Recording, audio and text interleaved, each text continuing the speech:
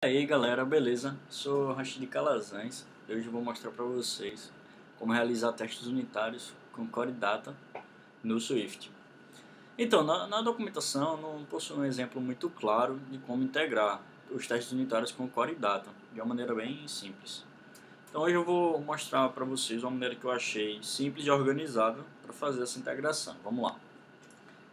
Vou criar uma Single View Application nome Core Data Example, linguagem Swift e utilizando Core Data.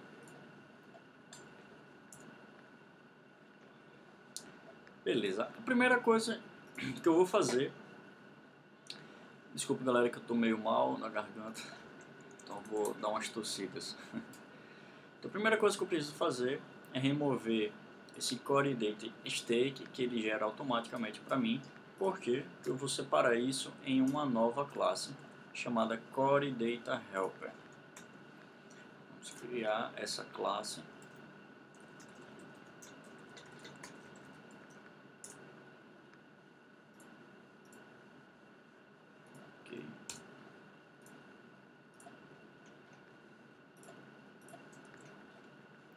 Nessa classe, na verdade eu não preciso ainda de NS Object vou fazer o import do, do Core Data.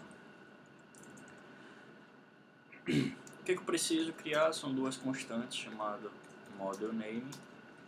Model name é o nome da sua, da sua application. É o nome do módulo que ele vai utilizar e constante do SQ light file.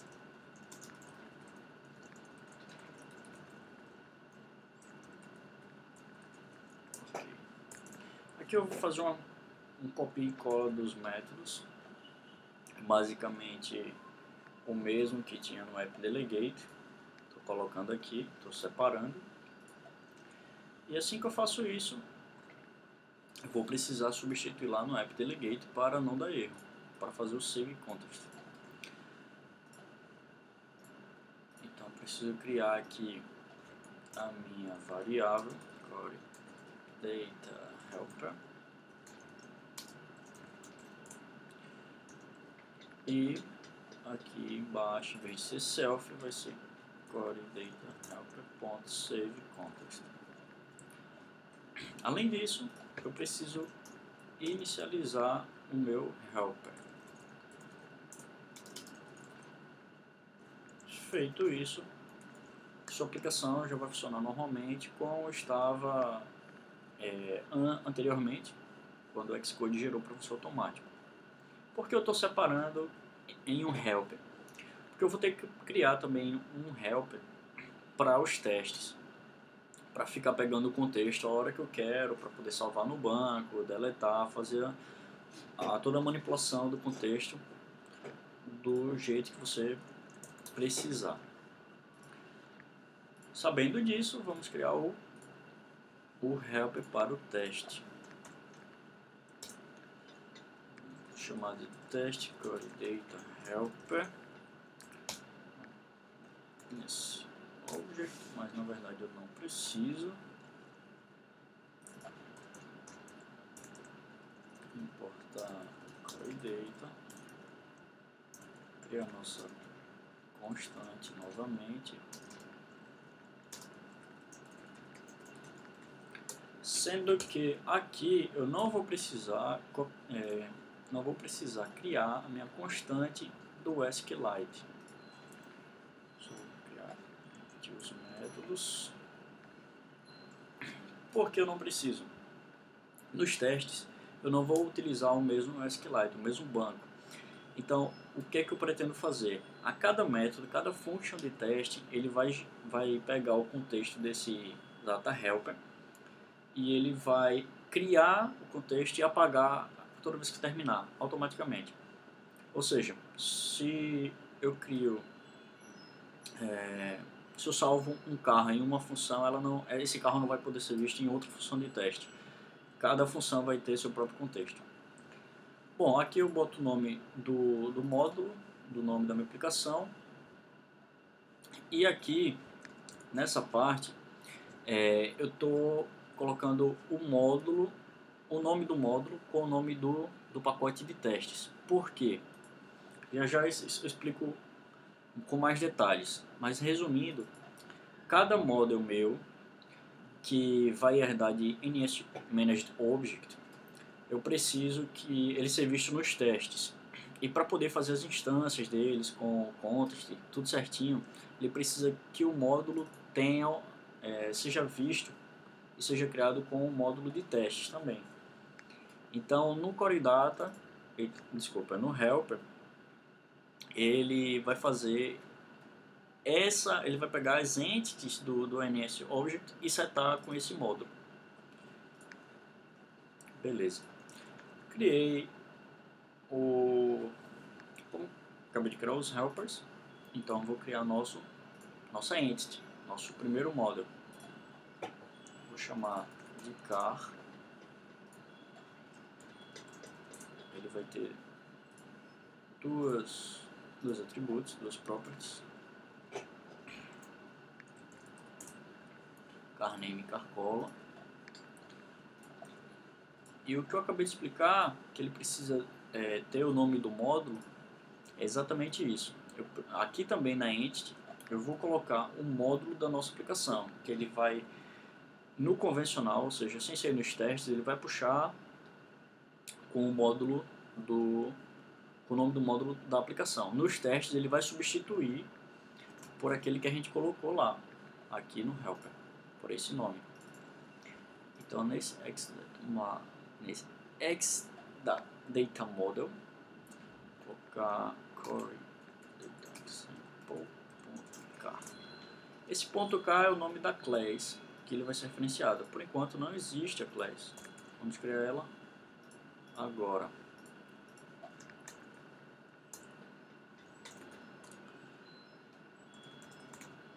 Na verdade, manage object.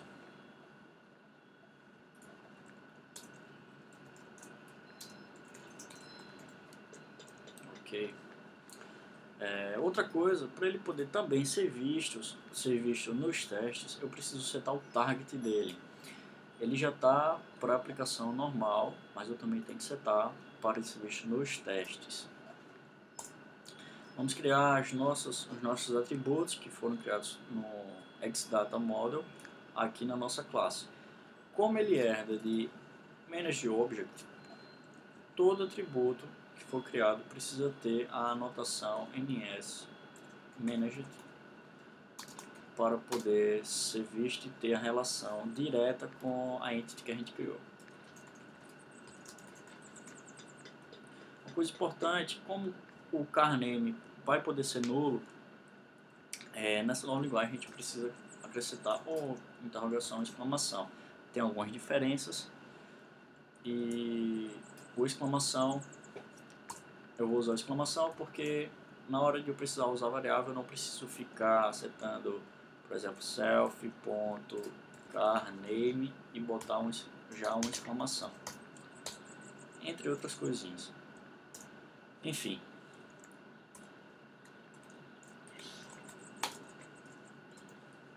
Em outro vídeo talvez que eu faça eu explique melhor os básicos do dessa nova linguagem. Ok, criamos o nosso model. Após criado, vamos criar, iniciar os nossos testes. Então vou criar a nossa classe de testes que vai dar de test case.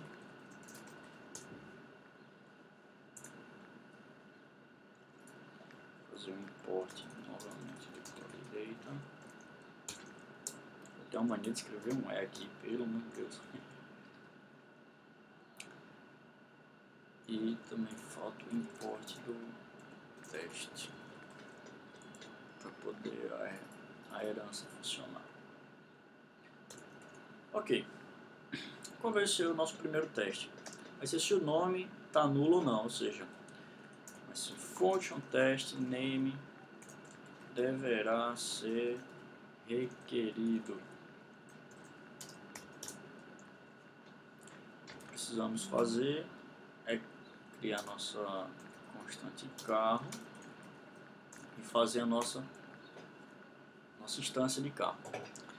É aqui que o problema do, do, Core, do Core Data dava. Por quê? Uma simples inicialização dessa maneira não funciona nos testes ou, e até no próprio quando você for fazer os controles normal, normais na aplicação. Por quê?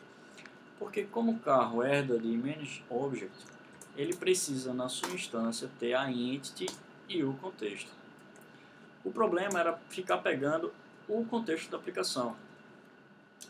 É, normalmente você vai poderia usar o app, é, app delegate com o método share application para pegar o contexto lá que tem na, no atributo da classe app delegate.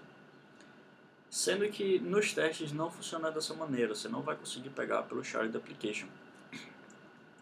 Então, foi por isso que a gente criou os helpers. A gente ainda não tem nossa instância do Core Data Help aqui, vamos criar ela com a sua inicialização. Pronto, nós agora temos o nosso context.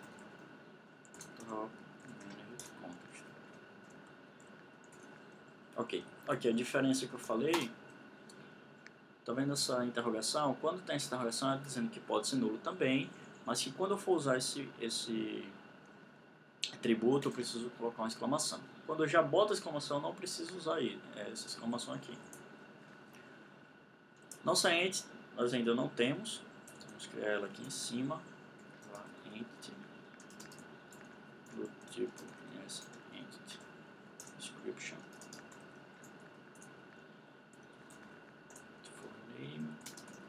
Esse nome tem que ser o mesmo da entity que a gente criou no Xmodel, que vai ter o context, o mesmo context do Core Data Help. Ok.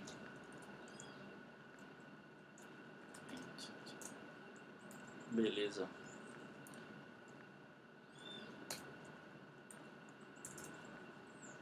Vamos criar agora nossos validações dos nossos asserts. O que é que eu preciso fazer primeiro? Verificar se ele está nulo. Como é que eu posso fazer isso? Criando o método validate, por exemplo, no nosso model car. Que ele vai me retornar erros ou não. É uma maneira de fazer, então vamos lá. Esse dictionary, é, esse meu método vai retornar um NS Dictionary. Ele está dando erro porque ainda não existe o método validate. Fazer agora os nossos asserts. Equal 1 erros count a mensagem que deverá conter um erro quando o name for vazio.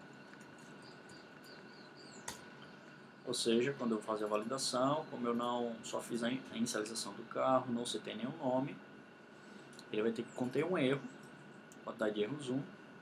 E além disso, ele vai ter que fazer uma verificação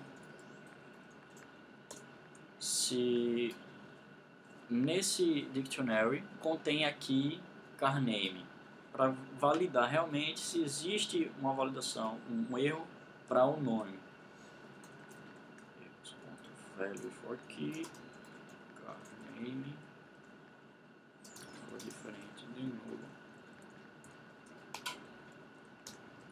Mensagem.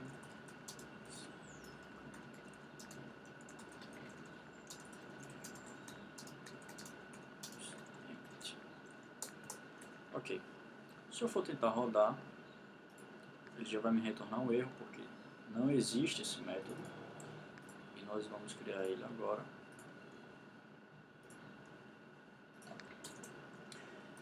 Function validate vai tornar um dictionary. Criar uma variável.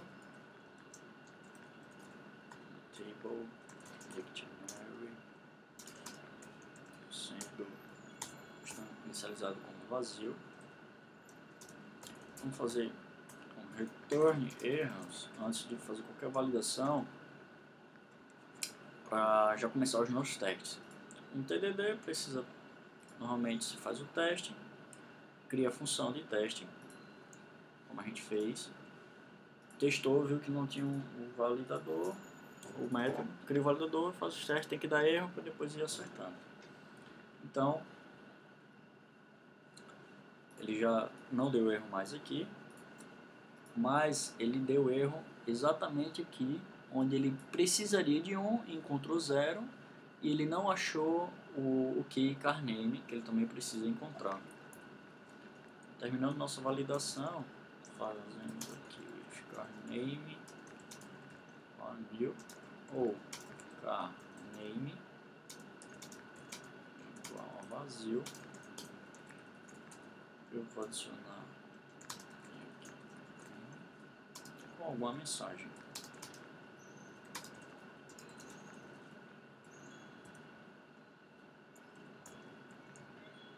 Bom, fazendo isso e rodando novamente, os erros não vão acontecer mais e o teste vai funcionar. Perfeito. Então é isso, galera. Dessa maneira a gente já está usando o contexto quando é preciso. Se você quiser fazer, se quiser salvar esse carro no banco, chamar o seu próprio contexto, fazer um save. E lembrando que cada function de teste você só vai vai ter um, um contexto novo. Ou seja, se você salvar um carro aqui uma outra função, você tentar encontrar esse carro que foi salvo, não vai acontecer. Porque cada função vai ter seu contexto próprio e ele vai limpando. Bom, galera, é isso. Espero que vocês tenham gostado. E até o próximo.